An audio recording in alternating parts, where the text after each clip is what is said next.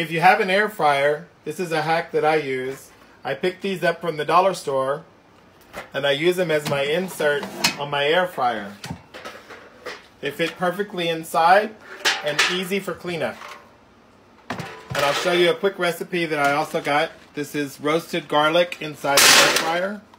You pour the garlic in, put olive oil over it, just drizzled, and then salt and pepper.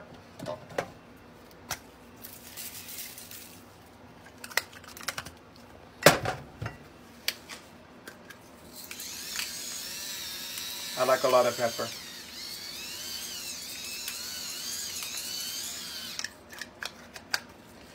And then you stick it in the air fryer for 15 minutes on 400. Stir it once about five minutes before it's finished.